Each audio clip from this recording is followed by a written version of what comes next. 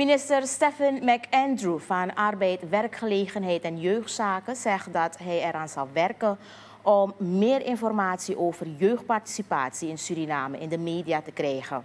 Hij stelde dit na opmerkingen van journalisten over een geringe informatiestroom naar het publiek. De bewindsman belooft na te gaan waar de, waar de schoen wringt. Bijna elke week lees je een persbericht van dat er vakscholing heeft plaatsgevonden voor tienermoeders.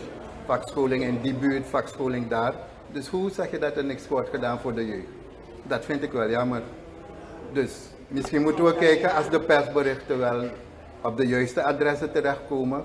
Want wanneer was het? Drie weken terug hebben we nog uh, Wanika Noord aan tienermoeders. Uh, die vakopleiding uh, textiele werkvormen hadden uh, gevolgd, hebben we machines ge uh, naaimachines gegeven, zodat ze zelfstandig aan de slag konden gaan.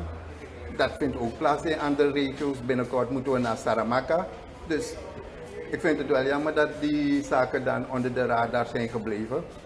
Ik zal met hoofdvoorlichting van me praten, want het is duidelijk toch, als zoiets niet wordt gecoverd, dan krijgen jullie wellicht het idee dat er niks wordt gedaan voor de jeugd. De minister zegt dat er concrete voorbeelden zijn van activiteiten die de afgelopen periode zijn gehouden ter bevordering van jeugdparticipatie.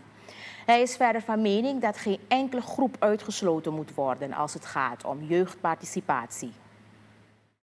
We moeten niet uitgaan van een kleine groep. We moeten iedereen, elke jongere die een issue heeft, moeten we proberen te helpen. En dat doen we met tienermoeders. We doen het met andere uh, youth at risk. Ook zij uh, drop-out bijvoorbeeld. Ook zij, voor, voor hun zorgen we dat ze vakscholing kunnen uh, krijgen. We zijn nu weer bezig om te kijken naar een project. Welke dan in de meeste districten zal worden uitgevoerd. En waarbij jongeren vakscholing zullen krijgen.